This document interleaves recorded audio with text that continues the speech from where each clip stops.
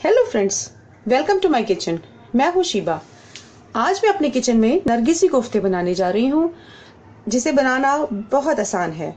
और आइए देखते हैं, इसे बनाने के लिए हमें किन चीज़ों की ज़रूरत होगी। तो फ्रेंड्स इसके लिए मैंने सबसे पहले टीमा लिया है, यानी कि मीन्स ये हाफ़ के जी है, यानी हाफ़ किलोग्राम साथ ही मैंने भुना बेसन लिया है, इसमें आप भुने चने भी ले सकते हैं। मैंने बेसन का यूज़ किया है, जिसको कि मैंने ड्राई रोस्ट कर लिया है। और साथ ही मैंने रेड चिली पाउडर नमक, ये मैंने हाफ़ हाफ़ टी स्पून या उससे भी थोड़ा कम ही लिया है, क्योंकि मेरे ग्रेवी में भी ये मसाले जाएँगे। और साथ ही ये one large onion green chilli और ये जिंजर जिंजर का मैंने एक इंच का टुकड़ा लिया है, जिसको मैंने पीसेस में काट लिया है। और साथ ही मैंने एग बॉईल लिए हैं फुल बॉइल बॉइल एग है मेरे पास। तो फ्रेंड्स सबसे पहले मैं ये सारे मसाले अपने जार में डाल के इसको पीस लूँगी। ये पिस जाएँगे तो उसके बाद मुझे ये कीमा भी, यानी कि ये मेन्स भी इसमें डाल करके ही और इसका, इसको अच्छे से ग्राइंड कर लेना है ताकि ये अच्छा सा पीस के बहुत ही स्मूथ बन जाए। तो देखिए फ्रेंड्स पिसने के बाद हमारा कीमा इस फॉर्म में आ चुका है। और अब हम इसमें अपने ये मसाले भी ऐड कर देंगे।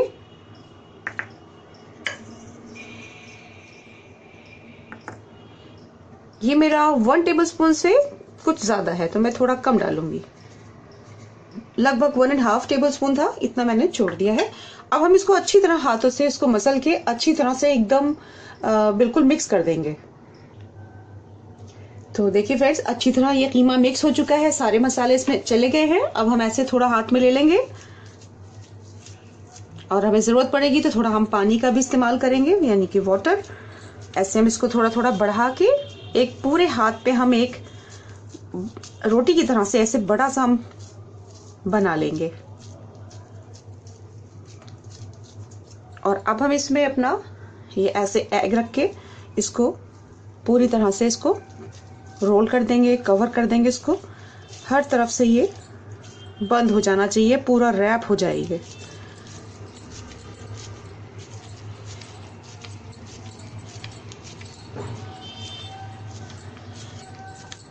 अगर कहीं से क्रैक हो रहा हो, कम पड़ रहा हो तो आप उसमें थोड़ा सा आप इसमें से लेके उसको आप और सा चिपका चिपका सकते हैं उसको। ताकि ये कहीं से भी खुला ना रहे, कहीं से कोई क्रैक ना रहे, इसको अच्छी तरह से दबा दबा कर अगर ज़रूरत हो तो हल्का सा आप हाथ पे पानी का भी लगा के इसको कर सकते हैं। देखिए, इतना बढ़िया ये बन गया है तो इसी तरह से हमें बाकी के भी बना लेने हैं। तो देखिए फ्रेंड्स, ऑयल मैंने रखा है डीप फ्राई करने के लिए और मेरे ये कोफ्ते भी बिल्कुल बन के तैयार हैं।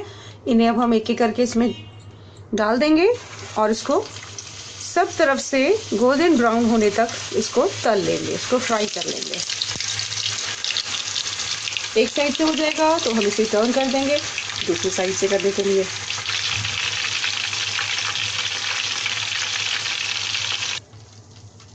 देखें, मेरे तमाम कोफ्ते बढ़िया बन के तैयार हो गए हैं। अब हम नेक्स्ट स्टेप में इसकी ग्रेवी बनाएँगे। तो देखिए फ्रेंड्स पैन मैंने रख दिया है अपना करी के लिए और इसमें मैंने ऑयल भी ले लिया है। और ये मैं मेथी दाना वन पिंच डालूँगी।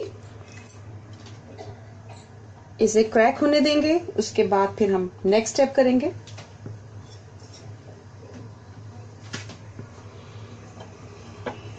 ऑयल मैंने हाफ़ कप लिया है।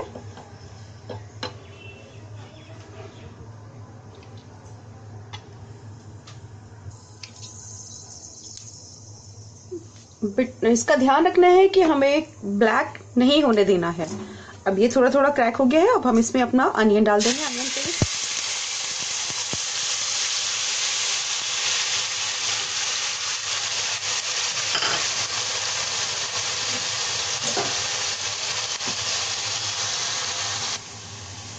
टू मिनट हमने इसको फ्राई किया है, अपनी अनियन को, और अब हम इसमें ginger and garlic paste one and half. डाल देंगे। इसको भी हम टू मिनट ऐसे ही भून लेंगे मसाले को, ताकि इसकी स्मेल निकल जाए, इसका कच्चापन निकल जाए।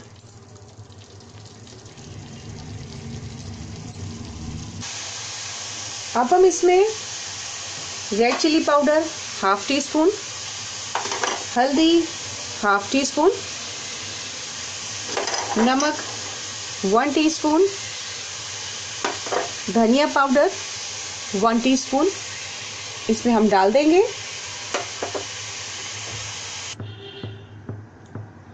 तो फ्रेंड्स अब हम इसमें अपना ये टोमेटो प्योरी डाल देंगे। ये हमने टू बिग साइज़ टोमेटो लिए हैं।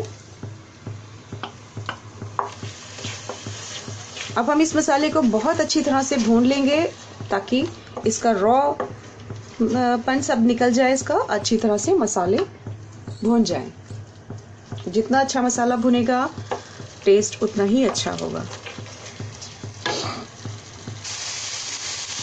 मसाला भी हमारा बहुत अच्छा भुन गया है इसने अपना तेल भी छोड़ दिया है, और अब हम इसमें दही यानी कि कर्ड इसमें ऐड करेंगे।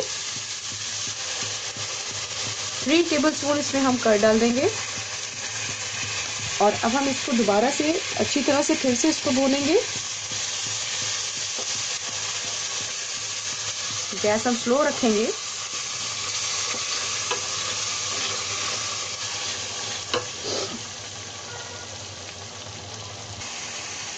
देखिए, बहुत बढ़िया मसाला मेरा भुन गया और अब मैं इसमें वाटर ऐड करूँगी। लगभग वन ग्लास वाटर मैंने इसमें ऐड किया है, लेकिन मैं इसमें थोड़ा वाटर और ऐड करूँगी। हाफ़ ग्लास और समझ लीजिए वन एंड हाफ़ ग्लास मैंने इसमें वाटर ऐड किया है। अब हम इसको थोड़ा पकने देंगे और इसी में ही हम अपने कोफ्ते भी लगा देंगे।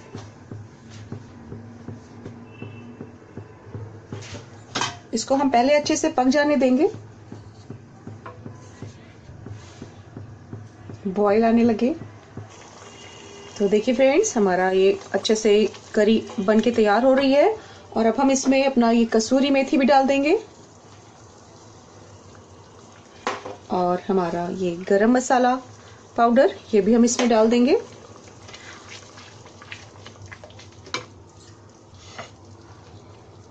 ये हमारे कोफ्ते, जो कि हमने नाइफ से, बीज से कट कर दिए हैं।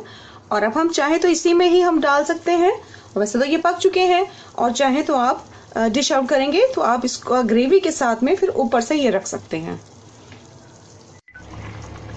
तो देखिए फ्रेंड्स मैंने इसके अंदर अपने कोफ्ते डाल दिए हैं, और ये डाल के अब इसको लगभग टेन मिनट मैंने इसको कुक कर लिया है, ताकि ये अंदर तक के अच्छे से पक जाए। तो उसके बाद फिर हम इसे डिश आउट करेंगे। तो देखिए फ्रेंड्स बहुत मज़ेदार, बहुत खूबसूरत देखने में ये डिश तैयार हुई है। तो आप इसे ज़रूर ट्राई करें और अपने कमेंट्स मुझे ज़रूर भेजें। और मेरी ये वीडियो आपको अगर पसंद आई हो तो इसे लाइक सब्सक्राइब करना ना भूलें। Thanks for watching